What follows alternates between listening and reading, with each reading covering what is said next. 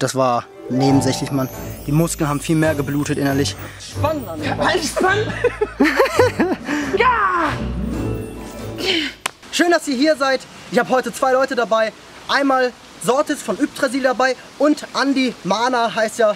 Und wir haben heute was Geiles vor. Wir versuchen mal mit der Vorstellung, wenn jetzt ein Tier uns verfolgt und wir müssen weglaufen, ist es schneller. Es ist springt schneller, alles. Es ist einfach ein Vorteil. Wir müssen einen Baum suchen, wo wir schnell hochklettern können, dass wir geschützt sind. Und dann ist die Frage, was für ein Baum ist am besten für uns? Und ich werde euch heute unterschiedliche Baumarten zeigen. Und wir klettern das, Andi und ich. Und Sortis wird die Mo- Moderation machen und erklärt uns, was wir machen müssen. So, die bereiten sich jetzt schon mal ein bisschen vor. Ja, und ich sag euch, ich werde die Bäume aussuchen. Ich werde einen Schwierigkeitsgrad nennen. Und es gibt noch ein paar Bonuspunkte. Ich denke mal, wir brechen jetzt auf, oder Jungs? Brechen wir auf? Jawohl, ja. Let's go! Ich habe jetzt den ersten Baum ausgewählt, und zwar den hier. Schwierigkeitsgrad würde ich sagen ist mittel. Wer höher kommt, sichert sich dann halt den Punkt für diesen Baum. Wenn man jetzt hier von einem Hund zum Beispiel abhaut, ob dieser Baum eine gute Wahl wäre. Mal gucken, was Sortis hier mir hier rausgesucht hat. Sieht auf jeden Fall erstmal interessant aus. Ja, es ist wie gesagt mittlere Schwierigkeit. Ich meine, man hat genug Äste. Man muss aufpassen, dass da kein Morscher dabei ist.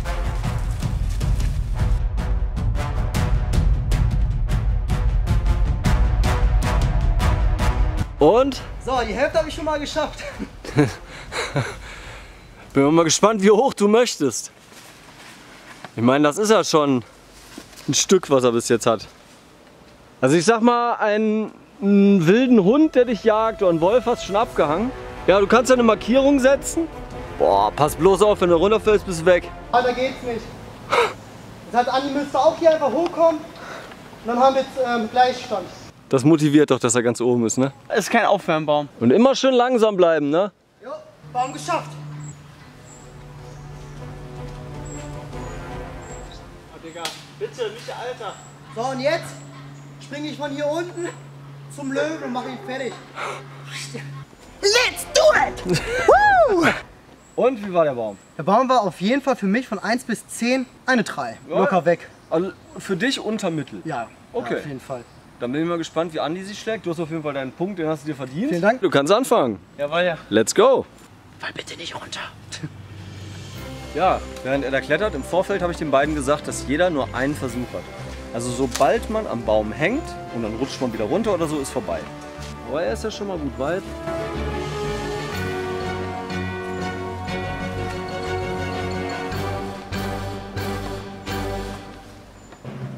Die Hälfte hast du schon. Verlass dich immer mehr auf die Hände, dass die was Gutes greifen. Mehr Baumklettertipp geben. Vielen Dank. Das ist mein erster Baum heute. Wisst ihr, was ich beim Baumklettern liebe? Free Climbing. Free Climbing ohne Seil erzeugt Emotionen, Adrenalin, das Leben höchstpersönlich. Ja, ja. Also es ist, wie Micha schon sagt, einfach nur eine Gabel am Ende. Also auf jeden Fall interessant, weil man merkt richtig, der Baum bewegt sich hier oben mit dir. Ja, sehe ich. Also man wird zur Einheit.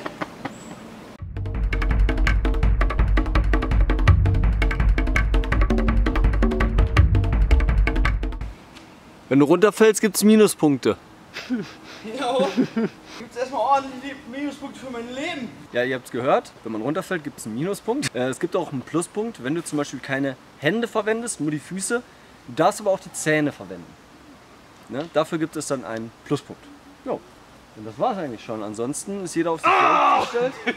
Man hat ja nur einen Versuch. Und wie war's da oben? Geil. Wirklich gut. Also man sieht richtig, das ist so, Krone, Ende. Jetzt präsentiere ich euch beiden und den Zuschauern da draußen den nächsten Baum. Schwierigkeitsstufe. Vorher würde ich sagen, hätte ich noch vier eingeschätzt. Mich hier auf drei. Du? Drei. Drei. Den schätze ich jetzt auf eine 7 ein. Bin gespannt, was ihr dazu sagen werdet. Folgt mir bitte.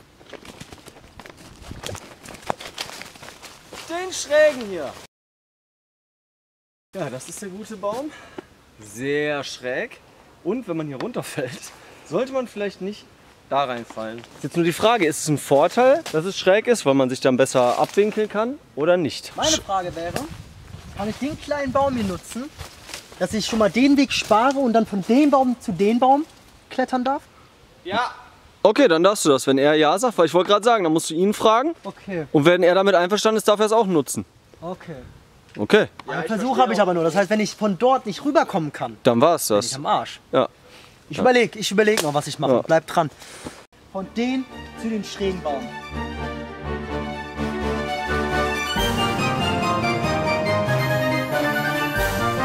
Ja, jetzt ist er schon mal auf seinem Nebenbaum schon mal weit oben. Jetzt ist nur die Frage, ob er es schafft, den Schrägen zu kommen. So sieht es bei mir aus. Hier geht's runter. Hier muss ich jetzt irgendwie auf diesen Baum kommen. Okay, jetzt wird's lustig.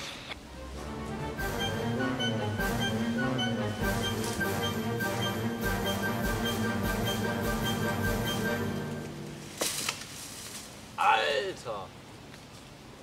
Alter! Ja, hoffentlich kommst du doch wieder runter. Ich bin jetzt hier raufgekommen. Von dem Baum bin ich dann zu dem Baum gekommen. Sieht fast aus wie eine optische Illusion.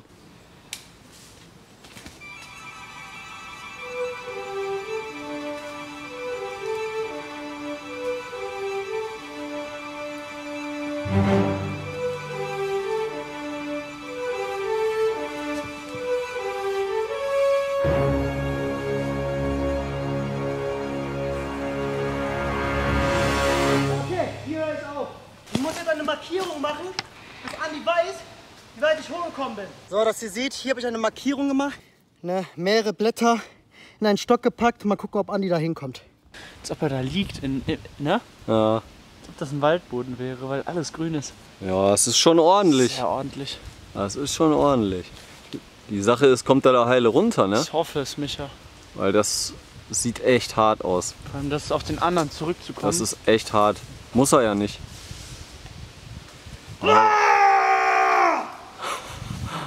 Ihr glaubt's nicht. Einmal hochkommen. Okay. Aber nochmal die Aufnahmen von hier oben zu machen für euch. Verdammt, man braucht mal Ausdauer dafür. Okay, den schlimmsten Teil habe ich geschafft. So, ich war ja da oben, habe euch ja das gezeigt. Ich muss jetzt da wieder zurück.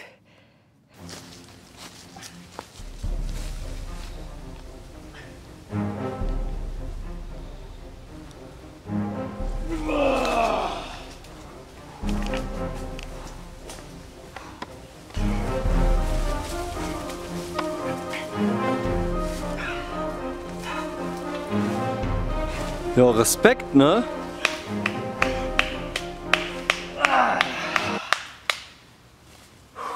Respekt. Und? War das eine 7 oder? Das war auf jeden Fall eine 7. Auf jeden Fall heftig. Ich musste wirklich, hier, man, man sieht hier, die ganze, ganze Haut aufgerascht. Ich musste wirklich richtig mit, meiner, mit meinem ganzen Körper dafür arbeiten und nicht mal kurz mit Armen hoch. Hm, Ich habe auch schon gedacht, so wenn du dich nicht halten kannst und du rutscht, der Oberkörper, ne? Ja. Auf jeden Fall eine geile Challenge. Mal gucken, wie weit Andi hochkommt. Dann will ich es auch mal versuchen.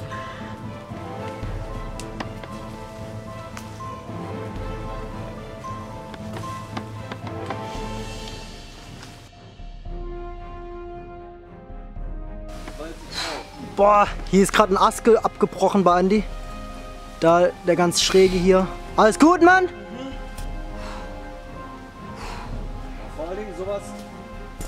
Ja auch die Moral kaputt, wenn auf einmal unter dir ein Ast wegbricht. Dann bist du erstmal voll im, im Rausch. Gucken, wie er damit umgeht jetzt. Boah, what the fuck ist das? Du musst dich gleich festhalten wie ein Berserker, ne? Boah, sieht doch stressig aus. Sieht richtig scheiße aus da. Was ist vor jetzt? Ich will überlegen, ob ich den Punkt abgebe. Ja, Weil ich das hier rauf, hier rüber ist wirklich kein Problem. Ohne Scheiß, ich kann hier, klemmt mich an dem Ast, guck mal wie nah. ja aber die Ich bin hier. Ist, Das Runterkommen ist das Problem. Das ist richtig krank, das Runterkommen. Das sehe ich. kommst du locker wieder auf den Baum zurück? Locker nein. Das ist echt krass. Ja, sorry Micha, der Punkt geht an dich. Mein Gefühl ist gerade angekratzt, Alter.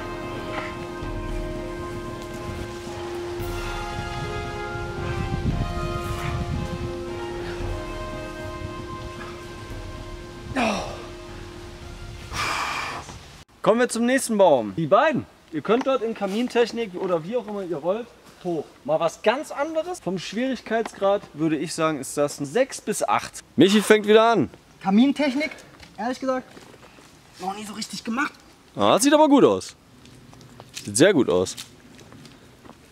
Wow, nicht schlecht.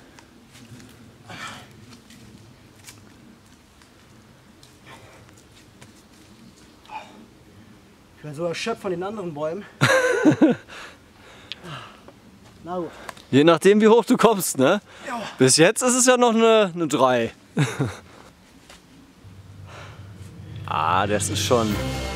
Das sind 20 Meter Minimum.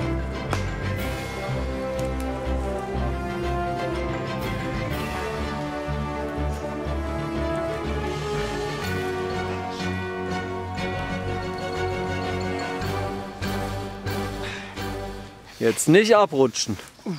Alter. Jetzt Ausdauerpause. Ich bin jetzt hier, ne, stehe hier gerade und ruhe mich kurz aus. Mal gucken, ob ich jetzt gleich zur Birke von der Buche noch weiter diese Kamintechnik nutze oder ob ich auf den hier kletter oder dann hier hoch. Ja, der Baum ist auf jeden Fall einfacher, was das angeht, was er vorhatte. Perfekt. Alter, Da wird, dir- da wird dir schlecht. Alter, da wird dir schlecht. Boah, ist das widerlich. Alter, ist der hoch. Boah. Ihr seht, wo ich bin und genau hier höre ich auf. Ja gut, reicht aber. Ja.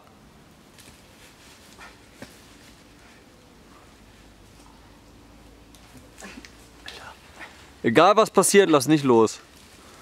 Dann lass lieber deinen Oberkörper zerkratzen.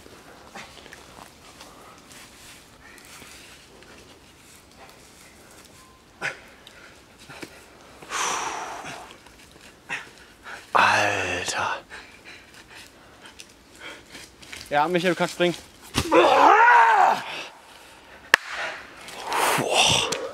Mal gucken, ob ich den Punkt holen kann.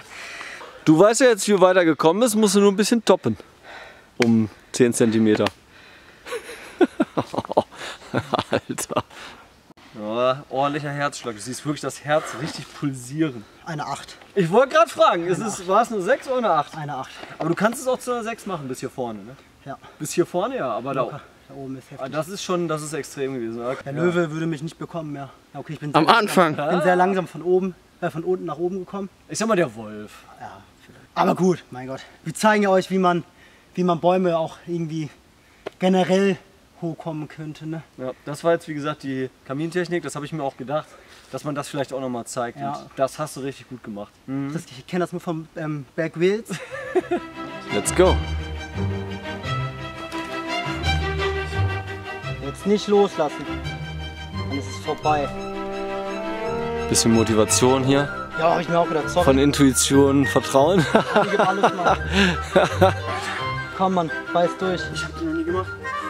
Dann klammer dich an den Birkenbaum und kletter erstmal mit dem Birkenbaum normal hoch. Also du musst dich 45 Grad jetzt nach da ziehen und damit du dich dann wieder nach 45 Grad nach da spannen kannst. Mit den Beinen spannen. Ja? Zieh dich jetzt hoch, 45 Grad. Fuck, Alter, scheiße. Du hast noch nicht den Boden berührt. Komm! Versuch irgendwie dich da zu entspannen an den Beinen. Entspannt. Entspannt. Das sieht das sieht sehr gemütlich aus. Ey, Digga, Alter, fuck. Okay, Mann. Leider nicht geschafft. Was zur Hölle? Ey, jetzt muss ich Großmolz probieren. Warte. Ich, mein Rücken ist am Arsch. Oh, Sortes probiert's auch aus. Geil. Ja, ich will auch. Ah, ich bin verkrampft. ich hoffe, das klappt mit dem Rücken. Bei dir sah das aus, als ob du schon echt Irgendwie schon, ja. schon. Ich habe hab das nur von Sortes äh, irgendwie gelernt. Er hat mir das mal irgendwann mal ge äh, gezeigt, aber ich habe es noch nie ausprobiert. Der Ast. So weit wie. Der Ast ist abgebrochen. Ja. Jetzt habe ich ja auch schon ein paar Knutscher. Und das nur von einmal kurz klettern. Es ist schwierig, wenn du diese Froschtechnik und so mit der Kamintechnik verbindest, dann geht's, aber macht man die mal. Er hier, er macht die Ich glaube, im. Pri- ich glaub, im Prinzip ist das eine 8 von 10 tatsächlich, wenn man das drauf hat. Weil ich habe diese Froschtechnik nicht so gut wie mich ja drauf. Ja, ist heftig. Und die Kamintechnik habe ich noch nie in meinem Leben ausprobiert, so richtig. Ich habe, ja gut, ich habe da mal so ein paar Spaßexperimente gemacht. Also richtig damit hochgeklettert bin ich nicht. Deswegen würde ich sagen, Muskel, also rein von der Muskelkraft her ist es eine 8 von 10, no, vielleicht sogar 9. Ich, klar, ich habe jetzt verkackt am Anfang, aber wenn ich jetzt diese Technik etwas trainieren würde, würde ich das natürlich schaffen. Aber immer noch mit einer großen Anstrengung. Also es ist, ja, ist ordentlich. ist eine gute Herausforderung. Ja, kommen wir zum nächsten und zum letzten Baum. Ich habe ja bis jetzt immer geguckt, dass es ein bisschen abwechslungsreich ist. Das da, ganz dünn und schmal. Wer kommt höher? Andi oder Michi? Der erste Kandidat ist bereit. Michi, der Meister der Kamintechnik. Der Kamin hilft mir aber jetzt da nicht mehr. Nee. Ich glaube, ich nenne mich ja The Great Frog King, der großartige Froschkönig. Aber interessant. Schreibt mal in den Kommentaren, ob ihr das glaubt, ob ich wirklich ganz oben die Baumkrone schaffe. Wenn ja, schreibt einfach, ja, wir glauben das. Oder nein, du schaffst wahrscheinlich nicht ganz oben. Seid auf jeden Fall fair und nicht jetzt hier mogeln, erstmal zu Ende gucken. Macht mal wirklich, was denkt ihr, schafft er das? Also wirklich, guckt euch das an. Dieses dünne Ding. Sortis hat erstmal was rausgesucht, weil er will uns ja wirklich richtig an den Grenzen bringen. Ich sag, er kommt bis da zum toten Ast. Weil das ist schon eine, Meist- eine Meisterleistung. Okay, let's do it. Let's go.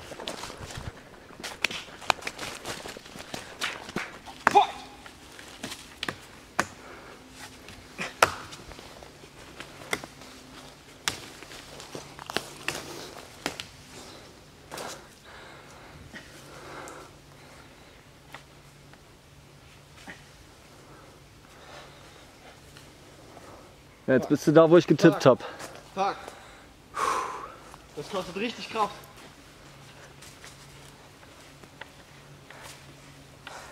Ausdauerpause. Verlass dich nicht so sehr auf den toten Ast da. Weiter. Ich gehe weiter. Er macht weiter, ja.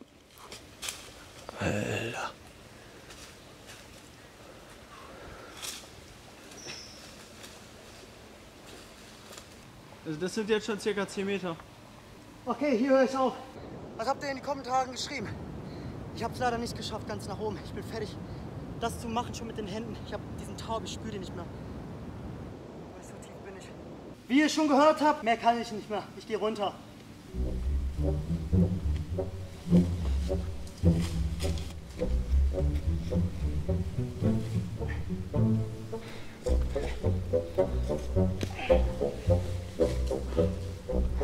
Ich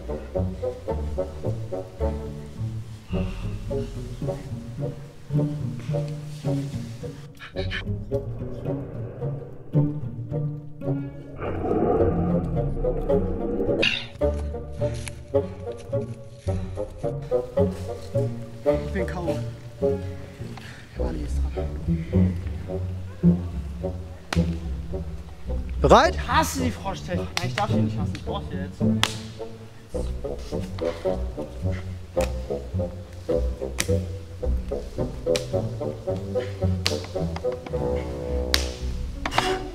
Fuck it. Ah, fuck it.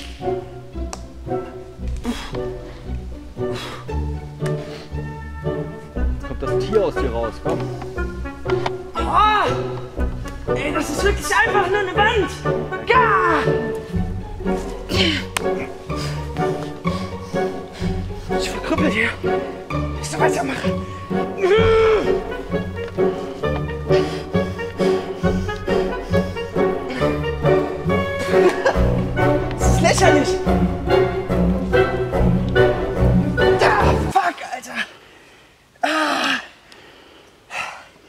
Und wie war's? Ehrlich gesagt, optisch gesehen lächerlich. Ob, äh, lächerlich. Ich, ich kann gar nicht glauben, dass ich da abkacke.